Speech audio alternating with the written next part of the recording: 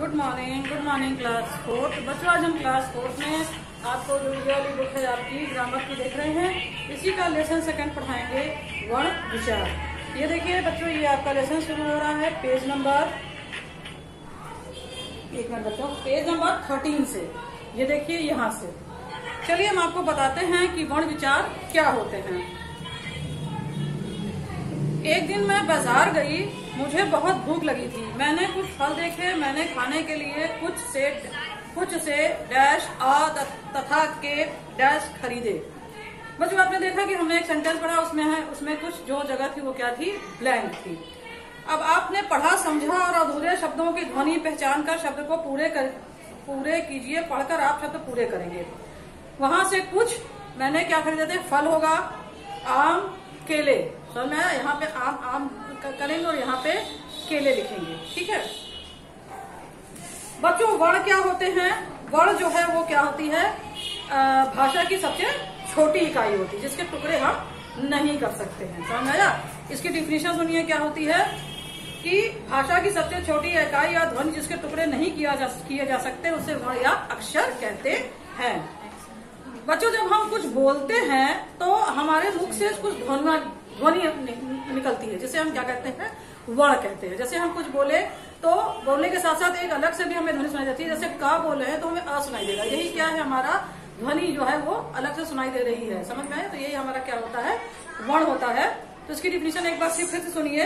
भाषा की सबसे छोटी इकाई या ध्वनि जिसके टुकड़े नहीं किए जा सकते, उन्हें हम क्या कहते हैं?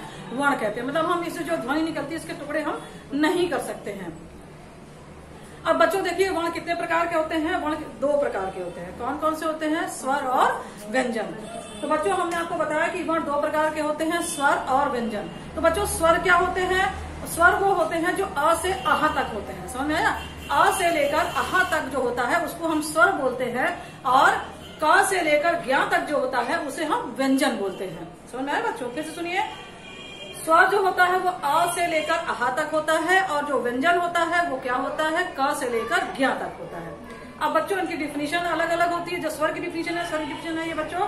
जिन वर्णों का उच्चारण बिना किसी अन्य वर्ण की सहायता से होता है, उसे हम स्वर कहते हैं। फॉर एग्ज़ाम्पल बच्चों, जैसे हम अ बोल रहे हैं तो अ जो है वो स्वतंत्र है, वो हमें सिर्फ़ अ ही सुनाई दे रहा है। समझा? तो यही है कि ये जो वर्ड होते हैं मतलब जो ये अ से आह तक होते हैं, इनका उच्चारण जब हम करते हैं तो हमें किसी अन्य वर्ण की सहायता नहीं लेनी पड़ती है। ये क्या होते हैं? ये स्वतंत्र होते हैं।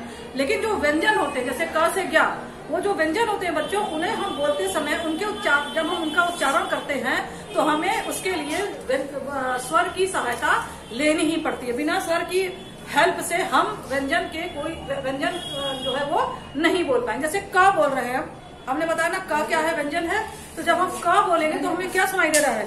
अ सुनाई दे रहा है। सॉरी बच्चों तो हमें क्या सुनाई दे रहा है?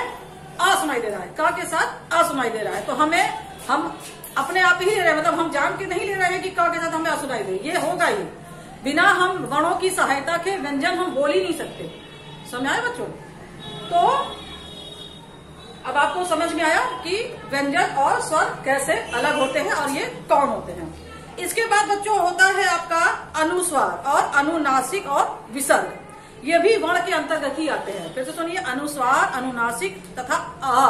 ये भी क्या आते हैं आपका? सॉरी विसर्ग ये भी किसके अंतर्गत आते हैं? ये भी जो है स्वरों के मतलब वर्ण में ही के अंतर्गत आते हैं, जिसका स्थान स्वरों के बाद में और व्यंजनों से पहले होता है। मतलब जब हम उसको लिखते हैं तो उसका उसका जो होता है वो जो स्वर होते हैं, वो व्यंजनों से पहले लगता है। जैसे अनुस्वार। फ़र्स्ट है आपका अनुस्वार। अनुस्वार जो है, उसका उच्चारण जो है, नाक से होता है।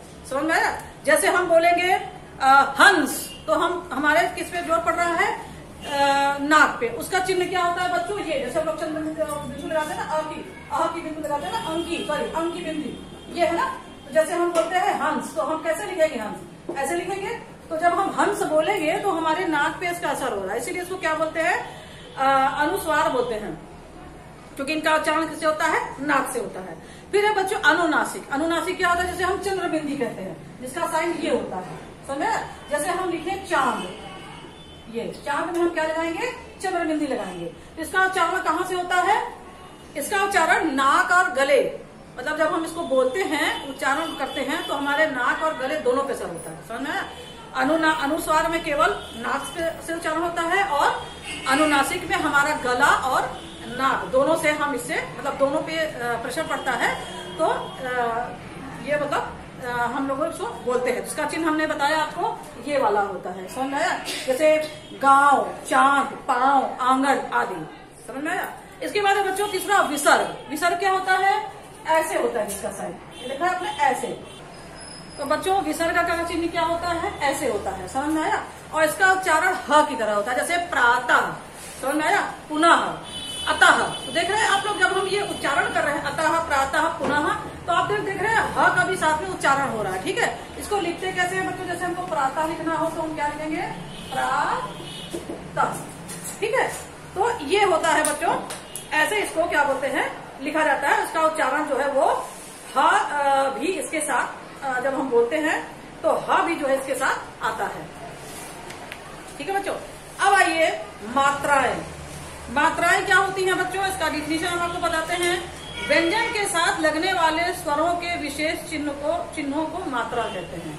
मतलब मात्रा जो होती है किसके साथ लगती है? व्यंजन के साथ लगती है। जब तो उसका क्या होता है? रूप जो है वो, जब वो व्यंजन के साथ मिलती है तो उसका रूप क्या होता है? चेंज हो जाता है। समझ में आया? तो इसकी डिफिनेशन फिर सुनिए। व्यंजन के साथ लगने वाले स्वरों के विशेष चिन्ह को मात्रा कहते हैं। ये देख रहे बच्चों? ये आप लोगों को पिक्चर दिख रही ना? इसमें देखिए कैसे मात्राओं का रूप स्वरों का रूप वो चेंज हुआ है जब वो व्यंजन से मिल रहे हैं। समझ आया? जैसे बच्चों अ की कोई मात्रा नहीं होती है। मात्राएँ शुरू होती है आ से यानी बड़ा से। समझ में आया? मात्राएँ कहाँ से शुरू होती हैं? बड़ा से। जैसे मात्राएँ क्या होती हैं? ये बड़ा की मात्रा होती है बच्चों ये छोटी की होती है ऐसे बड़ी की होती है ये ऊ है ये ऐसे करके या क्या है? ये मात्राएँ हैं। तो जब ये आ, क्या बोलते हैं? वैसे तो ये अगर हम लिखा जाए तो ये आ होगा, ये ई होगा, ऐसे करके। लेकिन जब ये स्वर के साथ मिल जाएँगी तो हम ऐसे ना लिखते हम ऐसे करते हैं इसको। सॉरी, व्यंजन साथ मिल जाएगी तो ये इसका रूप चेंज होके ऐसा हो जाएगा। ठीक है? आप लोग इसको ध्यान से देखिएगा, आप लोगों को और भी अच्छे से समझ में आ जाएगा। इसके बाद बच्चों स्वर क्या होता है? स्वर जब शब्दों के प्रारंभ में आते हैं तब उनका प्रयोग मात्राओं के रूप में न करके हम मूल रूप में करते हैं। समझ आया बच्चों? इसके बाद होता है व्यंजन। व्यंजन का हमने बताया ही कि इन, इनको जो है अ, बोलने के लिए हमें स्वरों की सहायता लेनी पड़ती है। ये स्वतंत्र नहीं होते हैं और ये क से लेकर ज्ञान तक होते हैं। बच्चों उसके बाद होता है संयुक्त व्यंजन। संयुक्त व्यंजन क्या होता है बच्चों? दो अलग अलग व्यंजनों के मेल से बने व्यंजन संयुक्त व्यंजन कहलाते हैं। मतलब ये जो दो अलग अलग व्यंजन से मिलकर बनते हैं, जो संयुक्त व्यंजन होते हैं, और ये कितने होते हैं बच्चों? चार होते हैं। छ, त्र, ज्ञा और श्र। ये चार होते हैं, इसको ध्यान रखिएगा आप लोग। संयुक्त व्यंजन केवल चार होते हैं। छ, त्र, ज्ञा और श्र। ये क्या होते हैं? ये दो व्यंजनों से मिलकर बनते हैं। जैसे अगर हम बोले यज्ञ तो हमें ज्ञा भी सुनाई दे रहा है और इया भी सुनाई दे रहा है। ध्यान आप लोग अभी अपने घर में उच्चारण करके देखिएगा। ज्ञा बोल रहे हैं तो हमें इया भी सुनाई दे रहा है और और जो है, क्या नाम से ज्ञा ज्ञा भी सुनाई दे रहा है। तो ये क्या है? ये दो व्यंजन से मिलकर बन रहा है ना? तो इसीलिए इसको हम क्या बोलते हैं? संयुक्त व्यंजन बोलते हैं। इसी वजह से है आपका पत्र। तो हमें त्र भी सुनाई दे रहा है और र भी सुनाई दे रहा है। तो ये आपका क्या होगा? संयुक्त व्यंजन होगा। इसके बाद बच्चों, वर्णमाला। वर्णमाला क्या होती है? भाषा में वर्णों के निश्चित क्रम में बंधे समूह को वर्णमाला कहते हैं। मतलब जब हम आ से लेकर आहा तक और का से लेकर ज्ञा तक एक सीक्वेंस में क्रम में लिखते हैं तो उसी को हम क्या बोलते हैं? वर्णमाला बोलते हैं। चलिए बच्चों, अब हम आपको बताते हैं इसके जो है क्वेश्चन के आंसर क्वेश्चन दिया है बच्चों पेज नंबर 19 पे, ये देखिए, यहाँ पे दिया हुआ है। इसका फ़र्स्ट क्वेश्चन है बच्चों, वर्ण किसे कहते हैं? इसका आंसर होगा बच्चों भाषा की सबसे छोटी इकाई या ध्वनि जिसके टुकड़े नहीं किए जा सकते, उसे वर्ण अक्षर कहते हैं। ये देखिए, पेज नंबर 14 पे इसका आंसर दिया हुआ है। सेकंड क्वेश्चन है बच्चों। स्वर और व्यंजन में क्या अंतर है? तो दोनों की डिफिनेशन आप लोग लिख दीजिए कि स्वर जो है, वो उनका उच्चारण करते समय हमें किसी अन्य वर्णों की सहायता नहीं लेनी पड़ती है और व्यंजन का उच्चारण करते समय हमें स्वरों की सहायता लेनी पड़ती है। यही दोनों में अंतर है।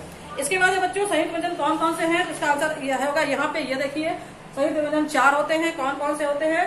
छत्र ज्ञा और श्र इसके बाद है बच्चों स्वर के स्थान पर लगने वाले विशेष चिन्ह क्या कहलाते हैं? तो आप इसका आंसर लिखेंगे स्वर के स्थान पर लगने वाले विशेष चिन्ह मात्रा कहलाते हैं। इसके बाद बच्चों पेज नंबर ट्वेंटी पे आइए। ये देखिए ये पेज नंबर ट्वेंटी इसमें आप लोगों को क्या करना है? इसमें ये देखिए ये कुछ आ, स्वर लिखे हुए हैं। ये देख रहे हैं आप लोग? इसी को क्या करना है? आप लोगों को इसी से दो आप लोगों को अक्षर दो शब्द बनाने जैसे अ लिखा हुआ है, बड़ा आ लिखा हुआ है तो आप क्या बनाएँगे? देखिए बच्चों, ये ये ऑप्शन दिए हुए हैं, यही से आपको छाट करके यहाँ पे लिखना है। तो जैसे है, पहला है बड़ा आ तो आप लोग बनाएँगे आरी और आदर। फिर है ए तो एक और एकता। फिर है ऋषि तो ऋषभ और ऋतु। फिर है उ तो उनचास और उल्लू। ये देखिए, ये ऐसे आप लोग इसमें लिखेंगे, यहाँ से देख के। फिर बच्चों, नीचे आइए। एक्सरसाइज नंबर टू चित्र को चित्र देखकर सही जगह पर अनुसार या अनुनासिक का प्रयोग करते हुए शब्द लिखें। ये देखिए बच्चों ये चित्र दिए हुए हैं। यहाँ पे आपने इन चित्रों को देखना है और अनुसार और अनुनासिक लेते हुए आप लोगों को ये यहाँ पे उनके नाम लिखे जैसे फ़र्स्ट है बच्चों आ, मंदिर। तो आप लोग वहाँ पे मंदिर लिखेंगे। बंदर चाँद और दांत समझ में आया? तो आ गया अनुसार और अनुनासिक। थर्ड है बच्चों चित्र देखकर शब्द पे उचित मात्रा लगाइए।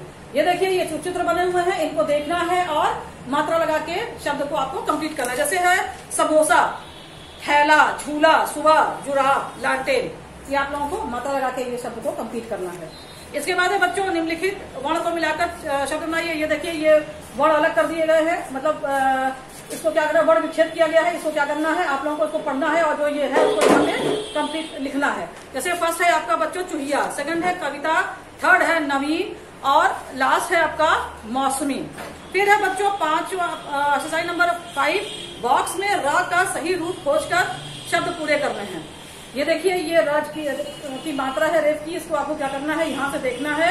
और ये जो पिक्चर बनी हुई है उसके नाम लिखने हैं। जैसे फ़र्स्ट है वर्षा भ्रमण सेकंड है थर्ड है ट्रक और लास्ट वाला है आपका रजाई। ठीक है बच्चों?